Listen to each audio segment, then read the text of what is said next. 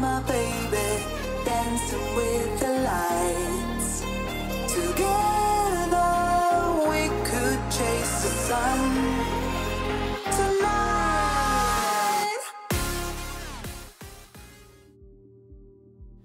ボンドチャンネルをご覧の皆様、こんにちは。こんにちは。ボンド大阪浅井です。高橋です。本日ご紹介する間はこちら。はい。えーポルシェの718ケイマン GT4 になります。GT4 めっちゃスポーティーですね。そうですね。まあスポーティーで、えーとカラーもねすごく、えーおしゃれで。そうですね。これはクレヨン。クレヨンですね。クレヨンですかね。クレヨンになっててまあ、すごくスポーティーな仕上がりになってます。そうですね。ポルシェでは結構車種問わずの人気の色ですよね。そうですね。はで、まあ、このお客様サーキット、はい。えー走るのがまあメイン、まあ、サーキットスポーツ走行がメイン、えーということなので、はいはい。まあ、それに合わせて、まあ、各パーツをセットアップさせていただいたような形になります。いあなるほど。はい。浅井さんこれホイールはどこのやつですかね？えーこれ BC フォージュトの、あはいはいはい、えー単造ホイールになります。あなるほどなるほど、でデザインは新作のはい。EHT02 ゼロになるほどなるほど。ワンピースですはい。ね。でまあ純正センターキャップ流用で19インチですかね。そうですね。はいはい、はい、これ純正のケイマン GT4 は、はいえー20インチが標準装備なんですけれども、はいはいはい。まあ、20インチだと、はい。まあ、選べる、えーまあ、タイヤとかですね、ええ。ーやっぱりサーキット走るのでランニングコストだとか、まあ、はい。その辺が限られてしまいますので、あーなるほど。えー、とあえて19インチにインチダウンをして、はい。まあ、幅広いタイヤを選べれるようになっております。ああなるほどなるほど、はい。でまあ、この履いてるタイヤは、まあはい。ブリヂストンの新作、えースポーツラジアルと言われてるはい。ポテンザはい RE71RS ですね。あなるほどなるほど、はい。まあ結構サーキットとかでもそうですね。使われるような。そうハイグリップのラジアルタイヤになっております。ああなるほどね、で、えー、とこれ、まあ、ちょっと見えないんですけれどもホイールとかはローレット加工って言ってこうタイヤとホイールがずれない。ああえっとなんかギザギザになってるやつですよね。加工とかもしてるので、まあ、サはいはいはい。ーキットに、まあ、サーキットでも走れるような仕様に、えー作ってセッティングしております。はいはい。あとはまあ空気圧センサー。もちろん、えー純正ですポルシェ純正使ってますし、はい。まあ、あとこの辺ですね。センターキャップは、まあ、ポルシェマークをあえてちょっとねブラックアウトしてあーあと後から塗った感じそうでかね。ですすね。ブラックアウトしてまあ、一体感ホイールとの一体感を出してるような感じになっております。あーあーでもかっこいいですねこれ。そうですね。ははい。い、でリアも結構コンケーブがねフランフロントと比べるとしてるんでそうですね。結構かっこいいですね出面もパツパツで。そうですね。えっ、と、はい。これチビフェンダーがもともとついてるんですけれども、あそうなんまあですね。それはちょっと取り外しの方させていただいて、はいはいはい、えーもう結構パツパツな感じ。そうですね。まあ、スポーツ走行なので、はい。まあ、タイヤを全然引っ張るんではなくこのぐらいちょっとムチっとした方が、よりかっこよくなってるかなと。あはいはい。それでまああと、えー、コンケーブですね、はい。まあえー後ろから見た時のコンケーブ具合は結構、ね、かっこいいかなと。そうですね。まあやっぱかっこいいですね BC フォージそうですね。はであと軽さですよね、い。はい。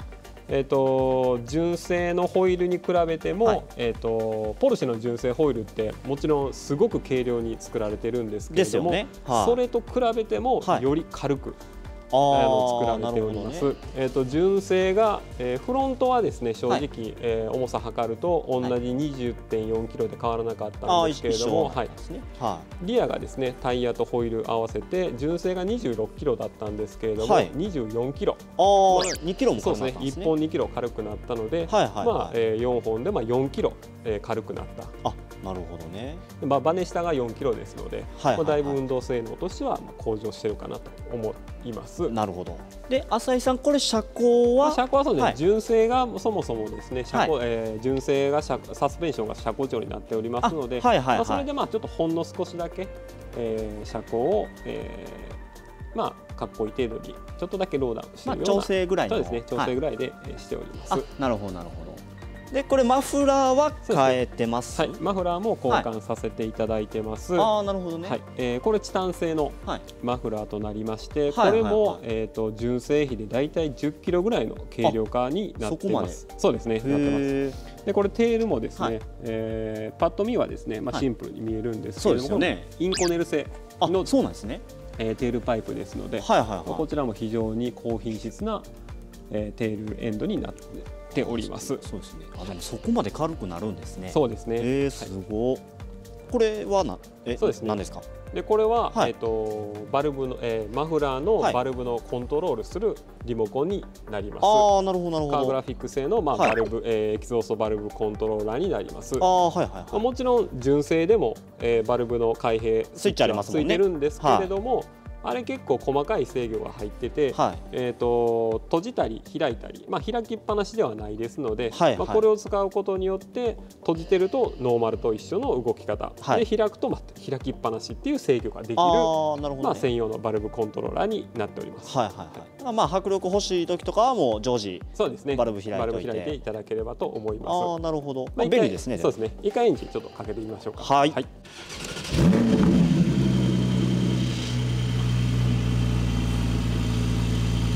はい。まあ、このような感じでバルブを開閉できるようになります、まあ、せっかくなんでちょっとこれでマフラー吹かしてみますので。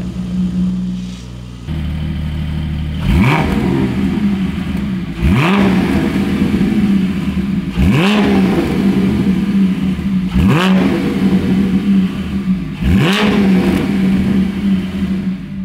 ゃあ次浅井さんインテリアの方紹介してほしいんですけど、なんかハンドルが上向いてるんですけどもえーまずインテリア、はい。ステアリングの方はですねこちら、えーカップカーのポルシェ純正のカップカーのステアリングをはいはいはい装着させていただいております。あすごいですね、はい。でこれはチルトアップステアリングボスというのをついておりますので、はい。まあ、乗り降りしやすいように、えーこれも上に跳ね上げあなるほどね。できるようになっております。はいはいはであとシートですね。い、はいシート、えーカーボンですか？そうですね。デカロのプロレーサーの 2600A になってます。これ全部、えーフルカーボンですね。ですよね。フルカーボンになってまして、はい。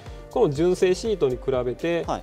だいたい8キロぐらい、えー軽量化にななっておりますので、えーとまあ、かなり軽いフルバケットシートになっております。へえすげえで助手席はもうノーマルのままそうですね。ノーマルのままなんですけれども、はいえー、とトラックスペック車の、はい。えーまあ、ちょっとシートをこう寝かすやつのあアダプターをはいはいはいつけておりますので、なんかステーみたいな。そうですね、ステはい。ーみたいなやつ、まあちょっと純正って結構背中が立ってるというそうですよね、えーちょっとしんどいそうですね。ですもんね多いので、はい。まあ、それで、えー、1インチ2.5センチ上げることによって、はい。ちょっと助手席のシートも後ろに、寝かしてるえー寝かしてるような感じになっておりあます。なるほどね。はい。じゃあちょっと乗ってみますね。はいお願いします失礼します。まあでも。やっぱ乗り降りしんどそうですね。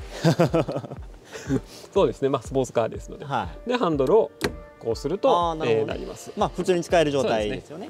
でこちらですね。はい。でこちらが、えー、本ボタンですね。はいはいはい、はい、なってまして、なるほどね。まあこちらの方、えースウェードのグリップになってます。まあこれもポルシェの、えーまあ、991のカップカーに、えー採用されてたステアリングですね。なるほど、ね、ブラックアルマイト仕上げになってて、まあ、ポルシェのエンブレムが付属されてます。なるほどね。でシートのすごい座り心地もクッション性がいいですので、まあ、すごく、はいえー、と座り心地もいいですね。あなるほどなるほど。でこれ、えー、と一脚これ45万円かな確かするので、へだいぶ高ー級なシート そうですね。めっちゃ高いなですってます。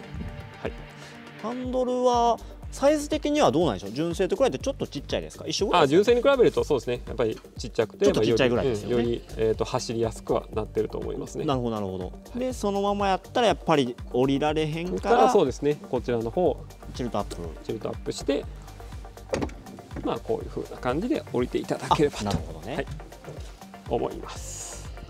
はい、ありがとうございます、はい、えー、では高橋君、はい。本日のケイマン GT4、えー、いかがでしたでしょうか？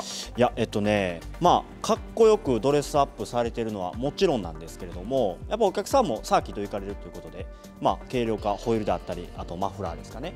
であとやっぱりインテリアカップカーのステアリングとシートとすごいまああの軽量化にこだわって作られてるなと思いましたね。でまたボディ色も、えークレヨンまあ、非常にかっこいい色なんですけれども、まあ、それとホイールとかもマッチングしててすごいかっこいいですし機能的な1台かなと思いましたね。